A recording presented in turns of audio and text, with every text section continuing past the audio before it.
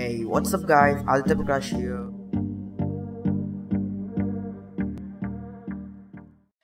Today I'll be showing you how to get the doze mode which saves a lot of battery in any Android smartphone. And you know what? This is an amazing trick and now you can also try this thing with your Android smartphone. So let me just tell you how this whole thing works.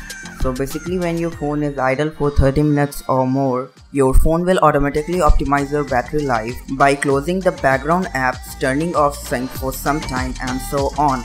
This feature is only available on Android Marshmallow devices as if for now but I have very easy solution so that you can also use this feature on any version of Android. There is an app in the Play Store which may mimics the same functionality but in different manner. So go to the Play Store and download the app called Doze. Open it up. Click on Get into Doze. Now it will set up a VPN connection for you to control your internet data. Click on OK and that's it.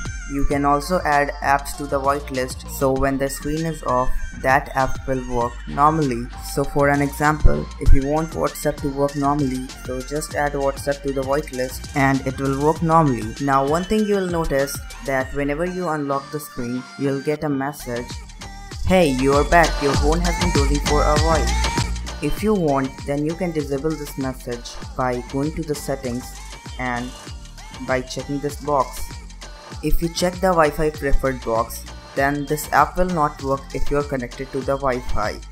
And if you will check the charger preferred, then this app will not work while you are charging your phone. If you check the aggressive mode, then data will be only fetched when the app is on.